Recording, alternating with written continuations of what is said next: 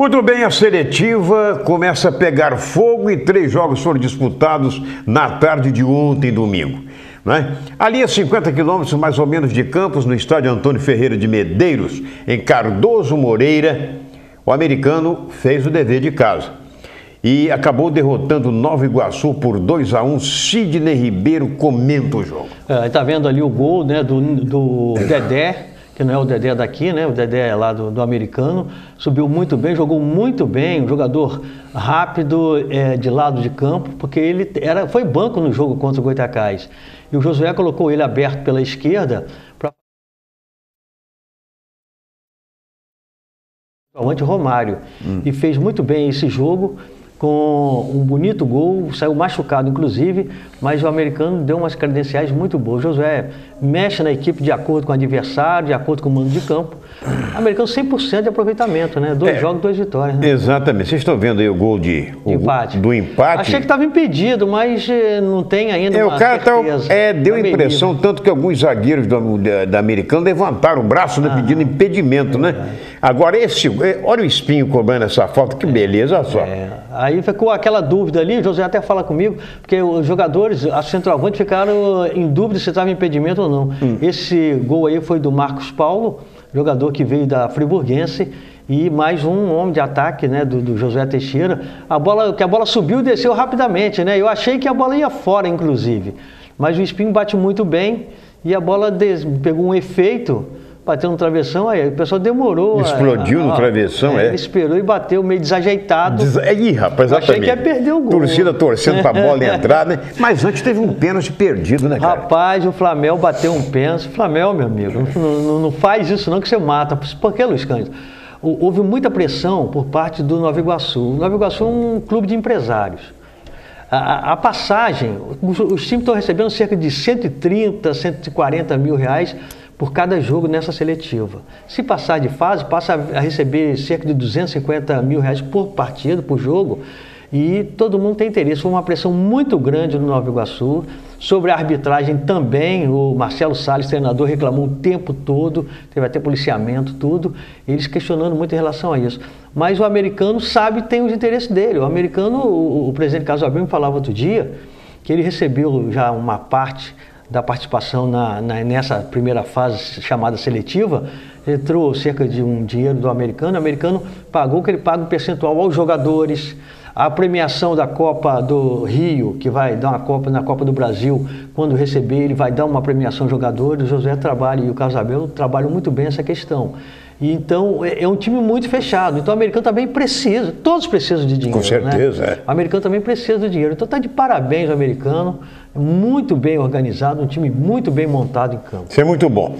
Pois é, mas o, o, inclusive, inclusive como diz aquele, aquele narrador de televisão, tem que falar pro Flamel, né? Não é, é assim. O Flamel, Flamel. Né? Flamel, a Flamel do pênalti que você falou. O Flamel bateu o pênalti, deslocou o goleiro, mas a bola quase não chega na linha de fundo, saiu quicando. Não sei se ele pegou mal na bola, que eu estava na, na cabine mas não se bate um pênalti é.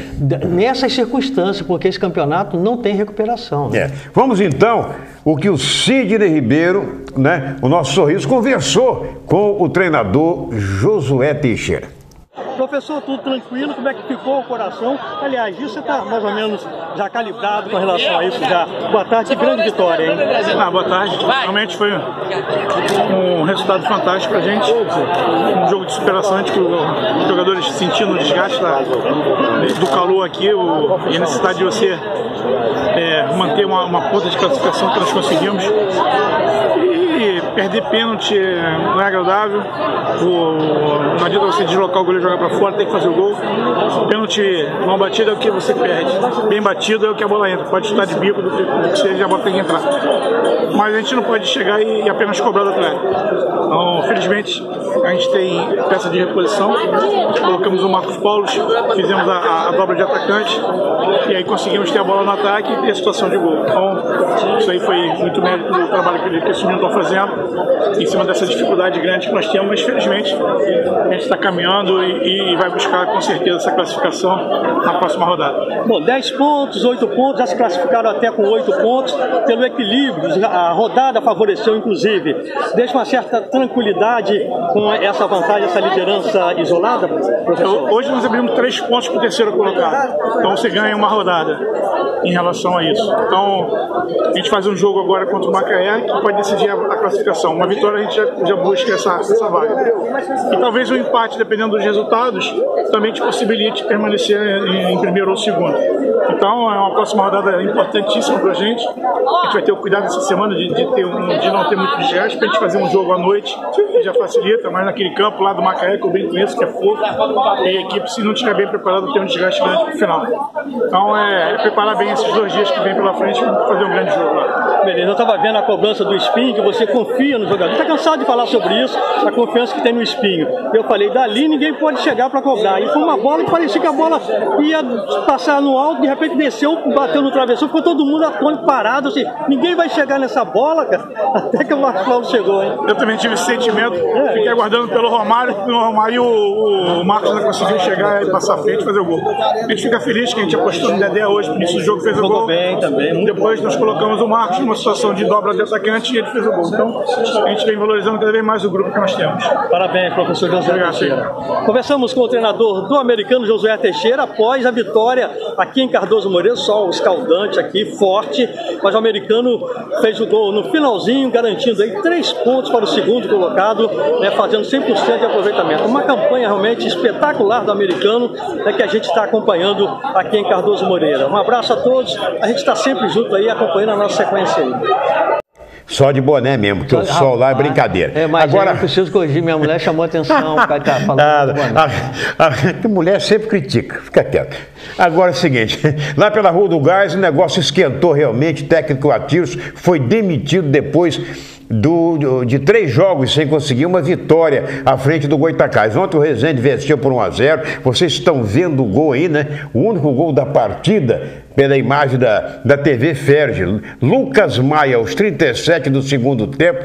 Tá feia a coisa lá em Sidim? Tá feia a coisa. No... Eu conversei ontem com o presidente da Tainha Fernandes, conversei hoje com o Carlinhos Barreto, que é o vice-presidente administrativo e agora vai assumir o futebol. E uh, tudo que a gente falava, Luiz Cândido. O, o Goitacás, na minha visão, agora eu comentando, eu acho que botou muitos jogadores, jogadores chegaram fora de forma. Tinha jogadores, por exemplo, que o, o, o Paulo Henrique gosta muito, jogadores que o Carlinhos Barreto gosta, jogadores que o Flávio Lopes, que deve assumir a equipe, gosta muito, jogador que o presidente D'Artagnan gosta. Né? Então, é, chegaram muitos jogadores fora de forma. Né? Alguns jogadores que estavam rodando por ali. O, e o elenco muito isso, grande, né? muito inchado. inchado. Por exemplo, o Léo Guerreiro não jogou nas três partidas, é. né? que era o centroavante que veio, não jogou. E vários outros jogadores. No primeiro jogo, o Atiço também, eu acho que é, é, cometeu alguns erros, Sim. principalmente no jogo contra o Goitacai. Na estreia, ele já mexeu lá, tirou o Edinho com 15 minutos do primeiro tempo, foi muito criticado. O pessoal segurou um pouco porque ainda estava à frente para não tumultuar muito. Mas ele mexeu muito na equipe. O Atista não conseguiu fazer a equipe jogar. Lamentável, porque é uma pessoa muito boa, gente fina. Né, mas dentro de campo não conseguiu render. Exato, exato. O treinador me falou agora, Escando, que quem deve assumir deve ser o Flávio Lopes, vai definir isso hoje, mas está mais ou menos engatilhado. Bom, é só. Nós vamos chamar. Chama aí o. o vamos falar também sobre, é, no caso do jogo do Resende, tem o, o, o, jogador que fez, o, que fez o gol do. Araruama, né? Araruama, né? Araruama fez o gol. Não, não foi o jogador do Resende. Do Resende. Do Resende, não, que fez o gol em cima do Goitacás. Ah, sim. Tá, não. Tá, tá, tá, tá.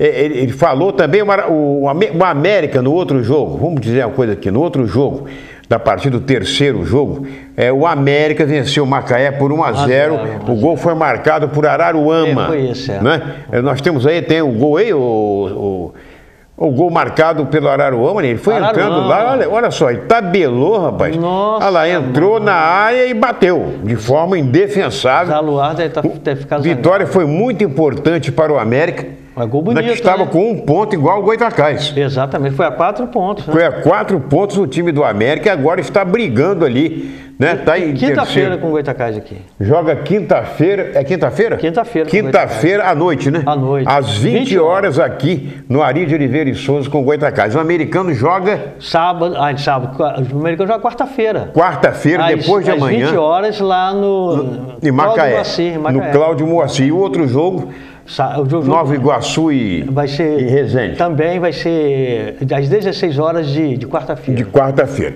Bom, gente, olha aí. O americano tem sete pontos, Resende tem cinco, América e Macaé quatro, Nova Iguaçu três e o Goitacás apenas um ponto. Nós, apenas um ponto. A gente confirmando a próxima rodada, meu caro Sidney, Macaé e Americano, Goitacás e América, Nova Iguaçu e Resende.